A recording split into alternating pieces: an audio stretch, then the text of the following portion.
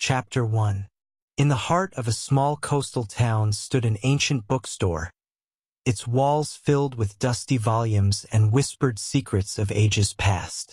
It was here that Emma, a young historian with a passion for uncovering forgotten stories, often found herself lost among the shelves. The store was a haven of tranquility, and the owner, Mr. Whitmore, a kindly old man with a twinkle in his eye, always welcomed her with a warm smile. One rainy afternoon, as Emma browsed through the history section, a particular book caught her eye. Its cover was worn, and the title, Whispers of Eternity, was barely legible. Intrigued, she opened the book and discovered that it was a collection of letters and journal entries from the 19th century, chronicling a love story that transcended time. Chapter 2 As Emma read the letters, she was transported to a different era. The story began with Elizabeth, a young woman living in 1850s England. Elizabeth was intelligent, headstrong, and had a love for literature that rivaled Emma's own. One fateful day, while visiting a local market, Elizabeth encountered Alexander, a charming artist with a passion for capturing the beauty of the world on canvas. Their eyes met across the bustling market, and it was as if time stood still. Alexander was immediately captivated by Elizabeth's grace and the spark of curiosity in her eyes. He approached her, and they struck up a conversation that flowed effortlessly, as if they had known each other forever. Chapter 3 Elizabeth and Alexander's connection grew deeper with each passing day. They spent hours walking through the countryside, discussing literature, art, and their dreams for the future. Alexander painted beautiful portraits of Elizabeth, each one capturing not just her likeness, but the essence of her spirit. As Emma read their letters, she felt a profound connection to their story. Elizabeth's words resonated with her, and she found herself eagerly turning the pages, wanting to know more about their journey. Chapter 4 One of Elizabeth's letters described a hidden garden that she and Alexander had discovered during one of their walks. It was a place of unparalleled beauty, with vibrant flowers, a serene pond, and an ancient oak tree that seemed to watch over them. The garden became their sanctuary, a place where they could escape from the world and be together. Emma decided to take a break from reading and visit the botanical garden in her town, hoping to capture some of the magic she had read about. As she wandered through the garden, she couldn't help but feel a sense of deja vu, as if she were walking in Elizabeth and Alexander's footsteps. Chapter 5 Back in the bookstore, Mr. Whitmore noticed Emma's fascination with the book. He revealed that Whispers of Eternity had been in his family for generations, and that many who read it felt a deep connection to its story. He believed that the book had a way of finding those who needed it most, those who were searching for something more in their lives. Emma was intrigued by Mr. Whitmore's words and began to wonder if her own story might be intertwined with Elizabeth and Alexander's in some mysterious way.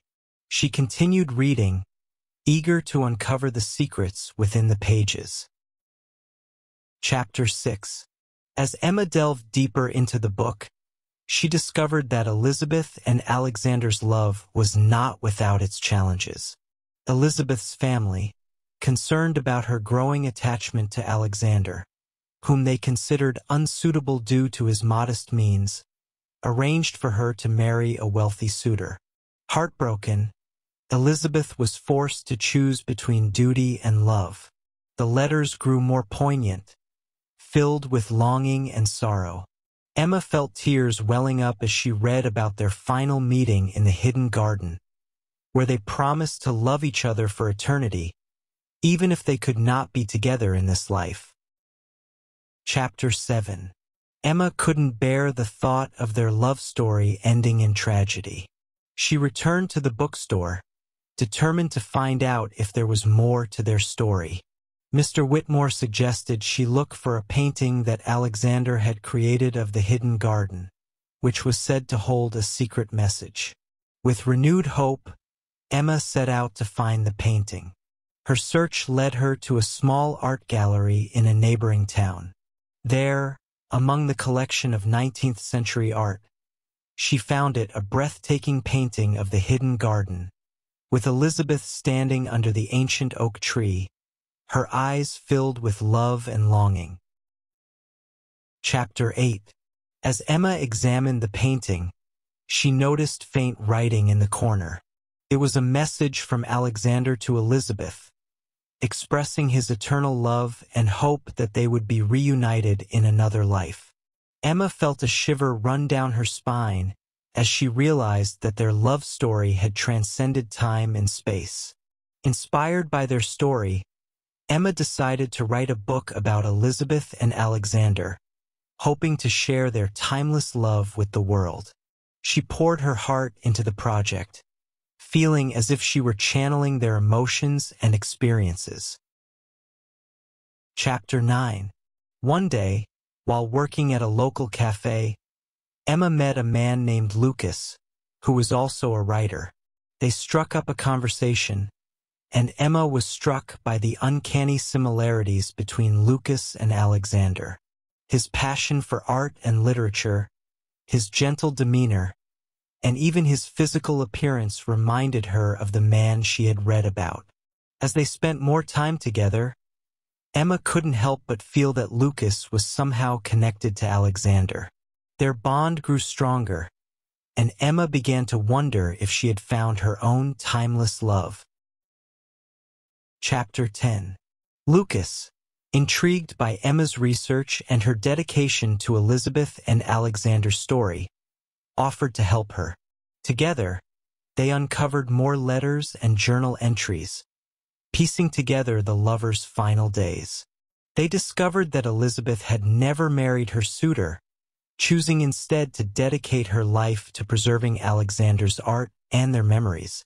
Emma and Lucas's connection deepened as they worked side by side, their shared passion for the past bringing them closer. They found comfort in each other's presence, and Emma began to believe that fate had brought them together.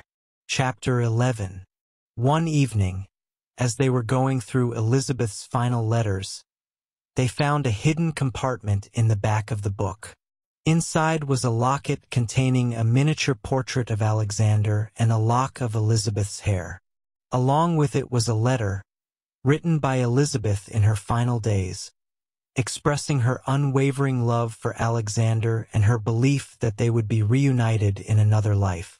Emma was overwhelmed by the discovery, feeling as if she had been entrusted with their legacy. Lucas, moved by the depth of their love, confessed his feelings for Emma, revealing that he had felt a connection to her from the moment they met. Chapter 12 Emma and Lucas's love blossomed, mirroring the passion and intensity of Elizabeth and Alexander's story. They realized that their connection was more than just coincidence. It was destiny. Together, they finished the book, Whispers of Eternity, dedicating it to the timeless love that had brought them together. Chapter 13 The book launch was a resounding success. Readers were captivated by the story of Elizabeth and Alexander, and many felt inspired by the idea of a love that transcends time. Emma and Lucas's bond grew even stronger as they shared their story with the world, their love a testament to the enduring power of fate. Chapter 14 To celebrate their success and honor Elizabeth and Alexander, Emma and Lucas decided to visit England and search for the hidden garden.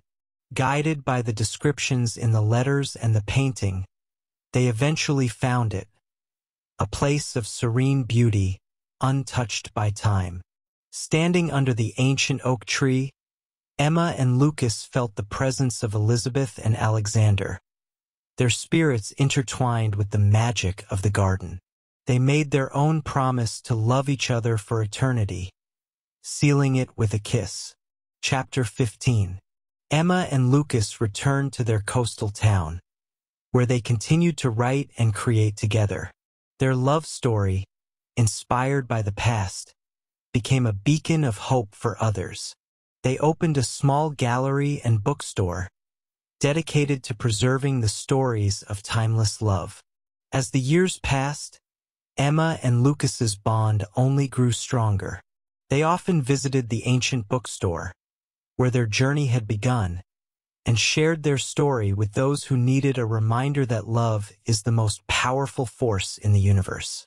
Their love, like Elizabeth and Alexander's, became a legend, a beautiful tale of serendipity and destiny, proving that true love is indeed timeless and eternal.